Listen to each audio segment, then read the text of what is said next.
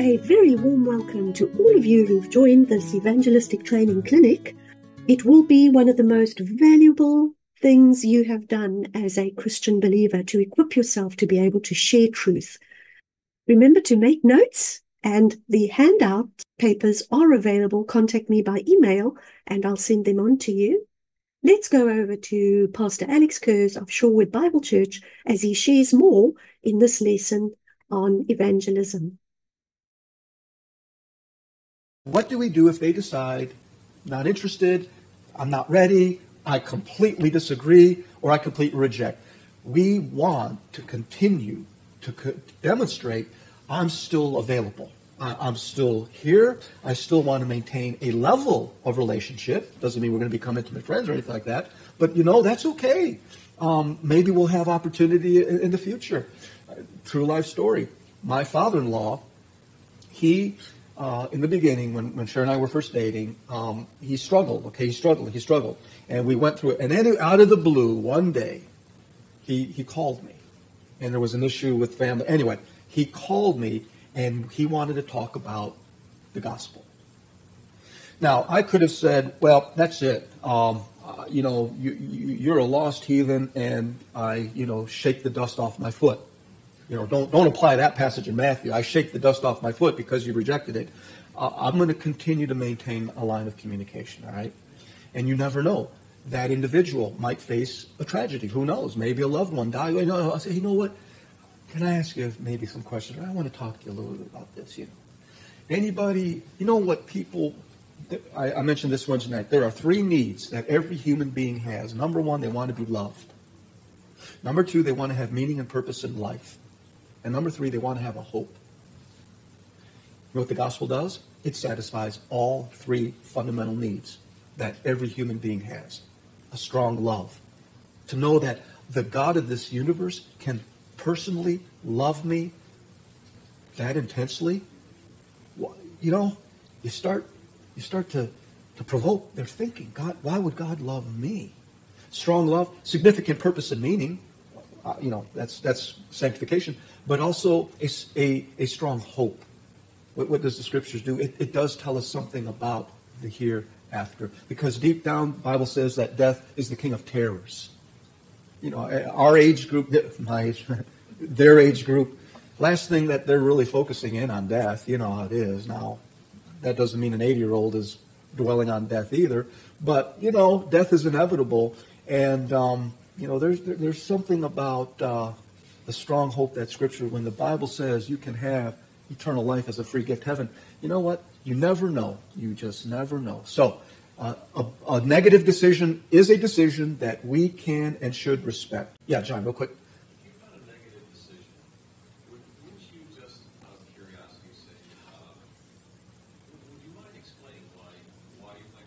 Very good. John, for those listening on the radio internet, uh, John suggested that if somebody has a negative uh, this, uh, uh, response, they reject it. John's follow up question is it fair to ask? I'd like to ask you, why? What, what is it that would uh, cause you not to believe this? And hear them out. Very good. And be patient. Be patient. They have a right to reject. Because how many of you got saved the very first time you heard the gospel? Uh, Thompson, he was the great Sunday school guy. He, he, he did a sur- survey and study many, many years ago, and he said that, or he found that the average Christian gets saved after seven hearings and three touches or something like that. The average uh, believer doesn't trust Jesus Christ as Savior until after seven hearings. Ah, heard of this. I heard it from my mom when I was a kid, or I heard it when I went to Sunday school sometime. I heard it, uh, but see, that's okay. But that's a very good follow up question that John would suggest. If they say not interested, I, I can't believe it, uh, you're crazy, uh, I don't. I, what what exactly? What is it? Well, uh, sometimes it's just too easy, kind of a thing. Or nah, I don't I don't believe all that kind of stuff. You know, that's okay. Hey, and you know what? Thank them. Well, I, thank you for the time. I thank you for the opportunity man, I'd love uh, maybe in the future we maybe would have an opportunity to talk a little bit more. Okay, it's okay. It's okay. Don't take it personal.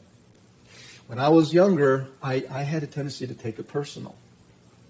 Because, see, what happens is if the focus is on you, you're rejecting me. No, they're not rejecting you. What did Jesus Christ say to his disciples? Listen, the world, if they hate you, why? They hate me first, you know? So don't take it personal. This is God's message. We're just a messenger. And if we're faithful and true and accurate and precise and loving and so forth, uh, it's between them and the Lord, okay? Again, it's a spiritual uh, battle that we're engaged in. So, let's do this uh, for maybe the next 15 minutes or so before uh, we, we do it here. Have any of you begun to memorize some of those verses? There are some verses that were given at the end of each. There's a homework assignment after each. Uh, most students don't ever pay attention to the homework, but there are some verses that um, we have given to you to at least have uh, kind of a, a, very fundamental, you know, uh, base of, of information, base of, of verses and, and doctrine that you can share with a lost person. So before we actually have the encounter between me and, and the lost pagan, I'm just kidding, Ryan. Don't use terms like heathen and pagan and stuff like that, all right? Um, Paul says, and such were some of you. Remember that. It's always important to know. And you know what? And such was I. Okay? So in our own little campfire circle, we use that kind of language. Uh, I don't recommend you use it with lost people. But uh, I've always suggested to make things easy and simple, follow the Romans road. So let's say, you know, hey, I, I want to talk to you about the gospel, and uh, I've got, you know, broke the ice and so on and so forth. So, uh, what verses would you use to demonstrate, hey, you know what? We're all sinners. Now, again, uh, it's, it's easy to say, I want to show the person that he, she, you are a sinner. But to sort of alleviate kind of that kind of uh, direct, almost aggressive. sometimes, you know, we're all sinners. You know, if, if you're not just necessarily saying you're a sinner, now don't get me wrong, you are a sinner. But what does the Bible say? See, if, if a, a, person kind of, wait a minute, you're coming across holier than thou, right? You ever hear people say, why don't you go to church? I don't go to church because they're all self-righteous, they're all holier than thou kind of a thing. Well, obviously you say, hey, you know that you're a sinner. Oh boy, all of a sudden a little defensive. But it would be gentler to say, you know, the Bible says that we are all sinners. You see? You know, let them drag you into it too, okay? Uh, Romans 3 is a great place to begin, right? Romans chapter 3. Have you memorized verse 23? Johnny? From the mouth of babes. See that? Uh, you're not a babe anymore. It is written. Well, for all have sinned and come short of the glory of God, right? Which, again, critical issue, establish a need. The first principle, hey, all have said. Now, eventually in time, uh, maybe you might have, you know, you might need to demonstrate all of us, all right? We're all in the same boat. And there are, I got verses, you know, a bunch of verses that emphasize everyone, all, regardless. Doesn't matter. All have sinned and come short of the glory of God. If you want to use the book of Romans, again, the Romans road, go to Romans chapter 5, Romans chapter 5, and notice there, Romans chapter 5 and verse 12. Romans 5, verse 12. Wherefore, as by one man sin entered into the world, and death by sin, and so death passed upon all men, for that all have sinned. So we got two verses within uh, uh, uh two chapters that tell us all have sinned. So, Ryan, I mean, um, would that include you? Now, now, according to the verse, according to the verse, would that include you? It includes me, obviously, but but would that include you? Well, it does say all, no exception. It doesn't say all except. It's clear all have sinned and come short of the glory of God. So, do you agree that's what the verse says? Now, maybe the person isn't quite convinced, but it's really not that hard to convince a person that they're sinners. Um, what we could do uh, using the Romans road. So let, let's say that Ryan, I'm just picking on Ryan, Ryan concedes, that's what the verse says, all. Would all include you, it includes me, it includes the Pope, it includes the President, it includes every human being. Well, so I am a sinner, and I'd like to demonstrate what the Bible has to say about sin. Let's go to Romans chapter 1. I'm just using the Romans road now, okay? Go to Romans chapter 1. And what exactly gets us into trouble here? In Romans chapter 1, we have a list of behaviors, a list of activity that, that constitutes and demonstrates that, that we do sin. Uh, let's begin at verse 29, Romans chapter 1, verse 29. This, by the way, is, is God's estimation of us. Verse 29 being filled with all unrighteousness, fornication, wickedness, covetousness, maliciousness, full of envy, murder, debate, deceit, malignity, whisperers, backbiters, haters of God, despiteful, proud. Ryan, you ever been proud? Boaster, inventors of evil things? This one, this one nails it. Disobedient to parents. Ryan, have you ever been disobedient to your parents? Everybody's been disobedient. Well, according to this list. And also, by the way, you notice in verse 29, full of envy and what? Murder. Are you a murderer, Ryan? Have you ever murdered anybody?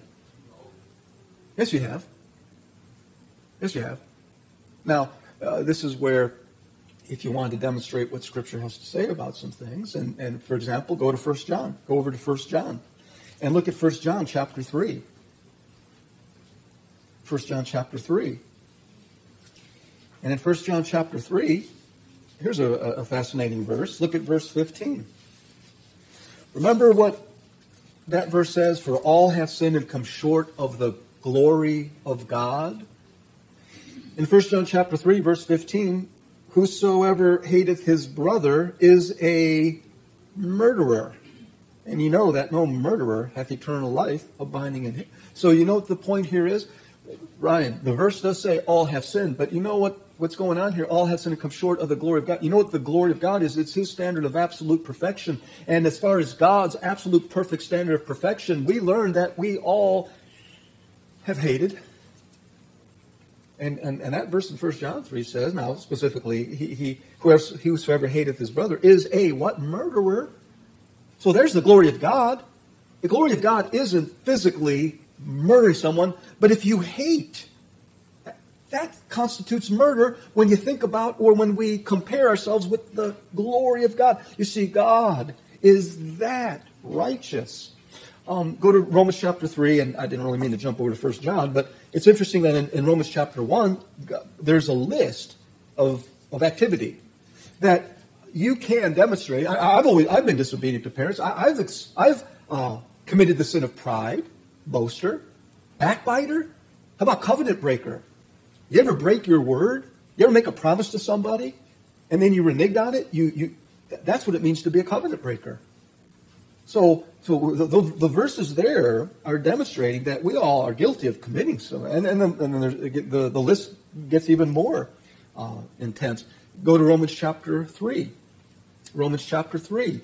And again, we're, we're still over here dealing with the issue of, of who we are as sinners and, and what uh, sin is. In Romans 3, verse 10, as it is written, there is none righteous, no, not one. There is none that understandeth. There is none that seeketh after God. They are all gone out of the way. They are together become unprofitable. There is none that doeth good. No, not one. Their throat is an open sepulchre. With their tongues they have used deceit. The poison of asps is under their lips, whose mouth is full of cursing and bitterness. Their feet are swift to shed blood. Destruction and misery are in their ways, and the way uh, of peace uh, have they not known? There, there is no fear of God before their eyes. You know? You know, I mean, that's pretty. God says there's nobody good. Uh, the Bible establishes guilt, and uh, that's what it means uh, to to be called sin. Now, now there are other verses that uh, we we we can go to uh, go to well, go to 1 Corinthians chapter 6. 1 Corinthians chapter 6. Now, now these are some verses. Again, you, you don't want to teach quote theology. You don't have to dwell and um, again just hammer every single passage. Uh, if you just stick with the book of Romans, that should be sufficient. But it's always good, again, to have uh, some, some extra ammo. In 1 Corinthians chapter 6, uh, look at verse 9. Uh, Rome, uh, 1 Corinthians 6, verse 9. Know, know ye not that the unrighteous shall not inherit the kingdom of God? Be not deceived. Neither fornicators, nor idolaters, nor adulterers, nor effeminate, nor abusers of themselves with mankind, nor thieves, nor covetous, nor drunkards, nor revilers, nor extortioners shall inherit. I mean, that's Do you, do you see yourself in this list? And I say, Ryan, have you ever committed adultery? Absolutely not. Oh, wait a minute. We've all sinned and come short of the what? Glory of God. And, and you know what? I can, chances are, Ryan, you have committed adultery.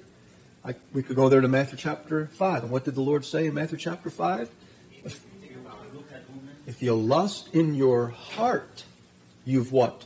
Committed adultery already. So I can I can show a verse to Ryan saying, you, you, you, I think you may have committed murder if you've ever hated some, hated your brother. Now, does it mean biological brother, or does it mean mankind in general? But uh, the point is this: by hating, you can be guilty of murder. By lusting in your heart, you're guilty of what? Adultery.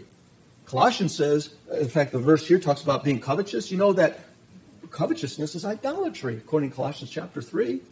So again, we're establishing the criteria that God establishes, and that's His glory. God wouldn't even think the thought.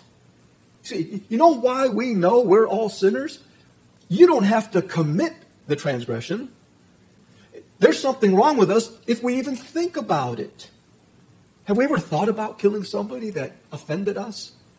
Have you ever thought of, you know, in, in your imagination, you know, retribution, boy, I wish that person maybe, you know, would get hit by a car and why would we think like that? See, there's something, it's called, it's who we are. It, it's, that's, that's our problem. Why would we think about coveting, having something that somebody else has? What possesses us to, to be proudful? See, there's something wrong inside of humanity. And, and, and that's what we're trying to establish with a lost person. Um, I, I tell you what, we don't, we don't need to keep hitting this stuff, but, but we could use, you know, again, establish the need. We, we've got a problem. Ryan, are you honest enough to admit that, hey, you're guilty of doing things? You're not, you, you, you know, you acknowledge you're not perfect. Well, of course, uh, when we get them to that place where, yeah, uh, and I know what they do. They'll say, yeah, but you aren't either. I say, yeah, you're right. You're right.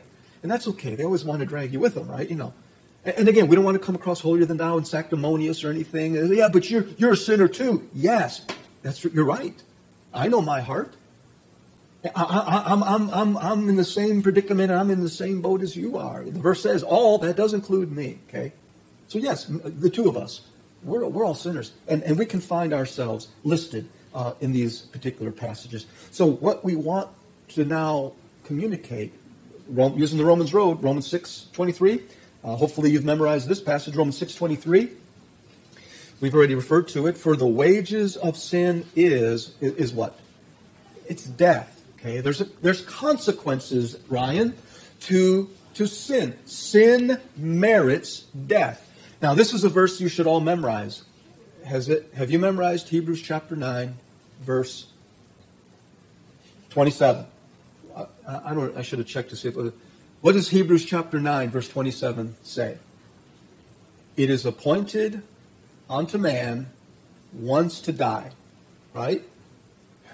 Ah, but what does the rest of the verse say? After this, the judgment. And after, the, after that, the what? The judgment. The wages of sin is death. Ryan, you, you concede. I agree with you, man. We are in trouble. We do commit acts of sin. We are not perfect.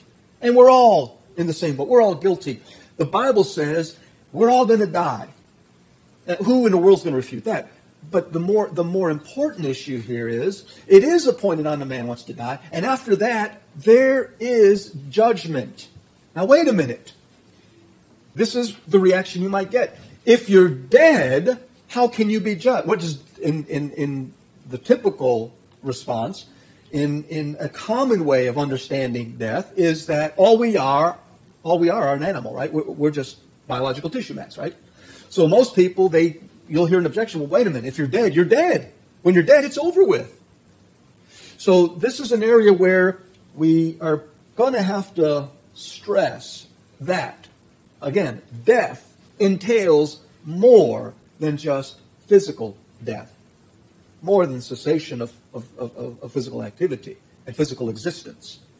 The Bible teaches that all humanity is more than just a physical body.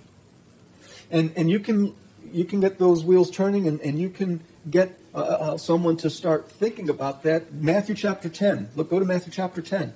Here are a couple of verses that are, are very useful in pressing on that individual the reality, the truth. Matthew chapter 10, verse 28. And as I mentioned earlier, I'm going to type these verses out for you so that way you do have, quote, kind of a cheat sheet. In Matthew chapter 10, verse 28, and fear not them which kill the body, but are not able to kill the soul but rather fear him which is able to destroy both soul and body in hell. You know what, Ryan? Bible says we're composed of more. We're made up of something more than just the physical body. The Bible says there is a part of us that is called a soul. That soul is who you are. The soul is that part of you that possesses those feelings and those emotions and, and, and, and, the personality. We're not just a piece of meat. And what sets humanity apart from the rest of the animal kingdom? I mean, surely you would agree that the human species is far removed, far different than the rest of. Take the next most intelligent creature on the planet. What would that be, by the way? Dolphin, maybe? I've heard dolphins or. C- compare a dolphin with a human being. I mean, is there any comparison? You know what? The, we are more than just a physical body. We're made up of a soul. And the Lord Jesus, the Bible says, don't fear the guy or the one that can destroy the, the body fear him that can destroy both body and soul. There's an invisible part of you.